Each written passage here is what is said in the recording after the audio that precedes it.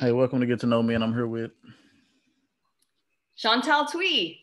hey, Chantal. So, can you tell us a little bit about yourself before we begin? Yeah, um, I'm an actress. I'm currently on a CW show called Black Lightning. I'm from Montreal and I live in Los Angeles. How is your experience on Black Lightning going? It's been great. It's been, it's been this is our fourth season. You know, I've gone to know the cast and like new new cast coming in. Um, Atlanta's been a great city to be shooting in, even through the quarantine. You know, Atlanta has great restaurants to order from. Yeah, I didn't like how the show ended yesterday. So. yeah, I mean, I just act. So, you know, just my job. Sometimes the writing is like shocking, and sometimes it, you know, it's exactly what you want. But I think, you know, that's I think that's the process of writing drama too. You don't get what you want until the end. Yeah, that's why a lot of people binge watch now. yeah, that's true. I need to see what happens. and then it's like four o'clock in the morning. I'm like, oh, one more episode.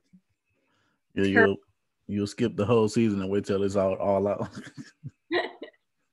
okay, so my first question for you is what's the most unusual thing you've ever eaten?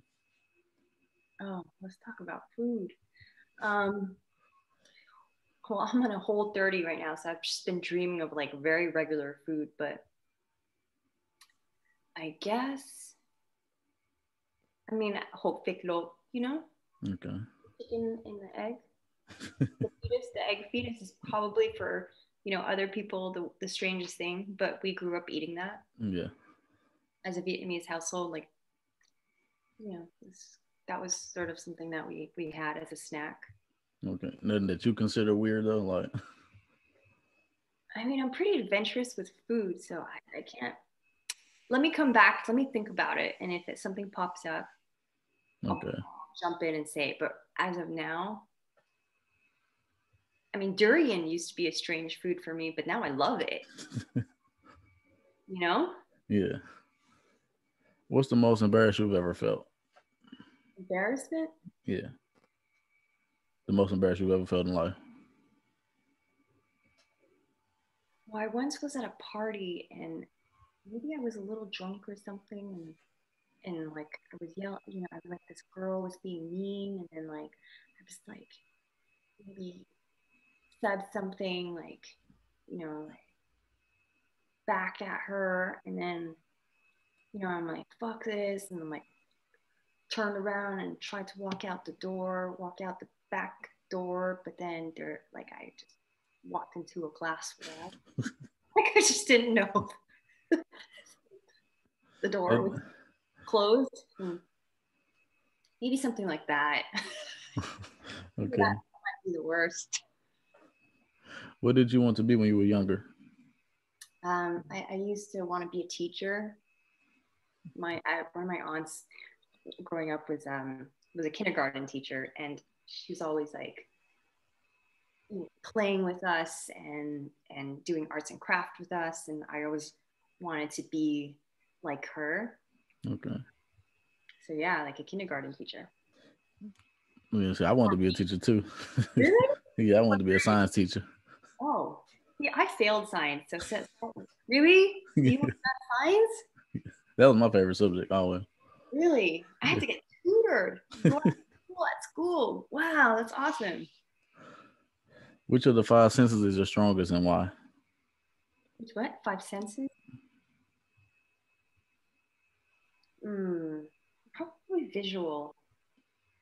I, I grew up like painting and drawing a lot, so I'd say like that first and foremost I'd be a visual visual person, but also kinetic.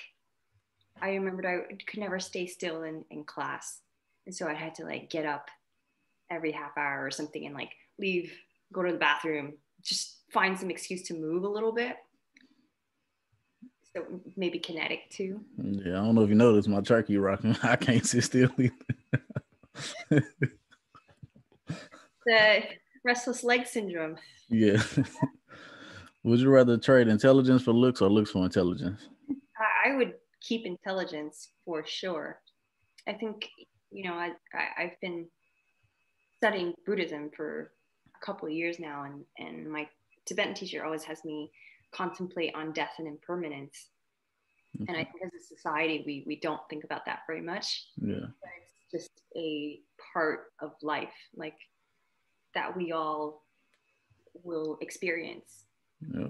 And, and you know, I've had some difficult losses in my life, and during that t- those time periods, I've always had a really hard time um, coming to grips with like the experience of losing a loved one and and how that computes with like you know what your what your life means you know yeah and and as i've been studying with my teacher um, it's helped me to at least come a little bit closer to my own um, peace with that truth about life. Yeah. Uh, and I think, you know, as an actor and living in and being in this industry, it's hard too because youth is so prized and good looks is so prized. And I think we're blessed with having an able body and and and and you know our, our youth, but that's not permanent.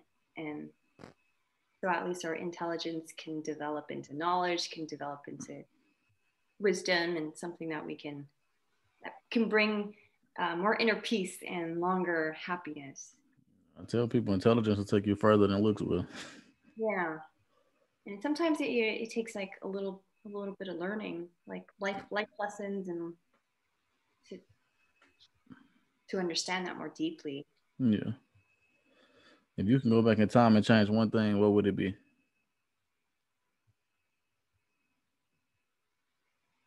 I guess I had, when I was growing up, I, I had a difficult experience with my dad. Like he, you know, he, they were boat people and they came to Montreal when they're very young, like early 20s. And he, he had left his family to join my mom's. And they weren't even married yet, they were just dating. But my mom had given him an ultimatum like, if you don't come with me, I'm going to stay in Vietnam too. And he's like, oh, I can't let that happen. So he left with her. Um, but back then, you, you, know, after you left, you couldn't come back in. Yeah. There was very little communication allowed between you know, people who left um, and, and, you know, their families back home. And so when they got to Montreal, you know, they're obviously without means and they had to start from scratch. So, you know, dad worked at, dad made his way into like working through KFC and like putting himself through school again. And like finally, I think it was after 18 years that he made enough money and we were born. So he, we were a little older so he could leave yeah. to go back to see his family. Um, and when he came back, you know, he left for like, I think eight months back to Vietnam. And when he came back, I, he was different. Like he was cold and he lost the warmth and, and I didn't recognize him anymore as my dad. And I was like, what's going on? And, you know, I, I kind of cut off my connection with him for many years until I think I was like 16 and I was like feeling a little bit more rebellious and like, I'm going to talk to my dad about this. Like, you know, we hadn't really been speaking for that entire, you know, for many years. And I felt really uncomfortable around him. And I was like, Dad, like, you went to Vietnam and you changed. And I don't feel comfortable around you. You know, like Vietnamese parents, you expect a slap or something like that, right? Like, oh, they don't they don't let you talk to them like that. Yeah. But surprisingly, my dad, he didn't. He didn't slap me. He was just like, yeah, well, when I when I went back, I saw my my parents. You know, he hadn't seen them in 18 years, and they had gray hair. You know, they're they aged 20 years, and he's like, it, it, you know, he's, he's traumatized. And that was the first time I understood my dad, and all of the feelings, every like my love for him, just like came back just because I understood him, you know. Mm. just because I now I, I had access to having some compassion for his experience. And that's like probably the biggest life lesson I've ever learned. Okay. Like importance of like communication and understanding someone else and like what they've gone through. But yeah, I think those few, those couple of years of like not speaking to him and probably are, are years that I, I regret the most. Okay. Who would you want to play you in a movie about your life?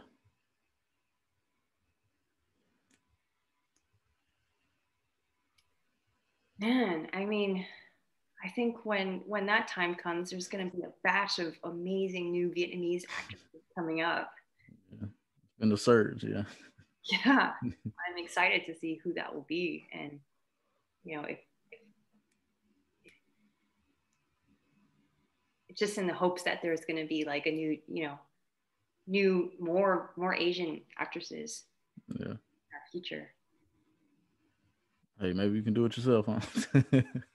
That'd be weird. What's one thing you'll never do again? Um,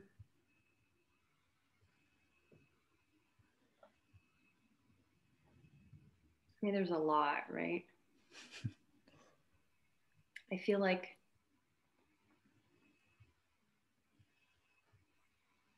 my sister and I used to fight a lot we're very close in age and like she and I would either yell at each other or fist fight or you know like fight. And I think now we're, we're all older and we realize like oh I only have like you know I only have these this family. I only have these people to call my sister my sisters. And I think I would never go back to, yeah, escalating to that level or taking things so personally. Um,